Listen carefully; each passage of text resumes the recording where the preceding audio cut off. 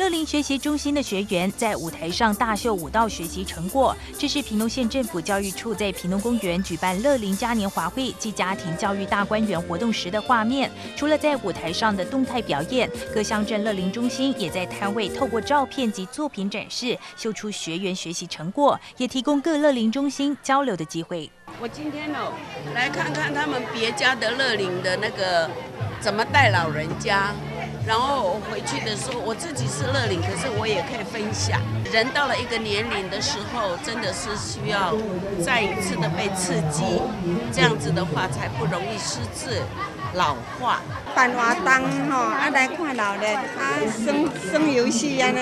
在家庭教育大观园活动中，副县长吴丽雪特别颁发新著名最佳学习奖、温馨家庭奖与学校家庭教育工作评鉴绩优学校等各式奖项。她特别鼓励新著名学习中文及台湾文化，有助于融入台湾社会。那我们就是希望能够鼓励，呃，家里有新著名的朋友啊，或者家里有一些，呃，一定要让新住民朋友出来，呃，到学校去参加一些，呃，补教、补习那个补习教育，加强他们对于，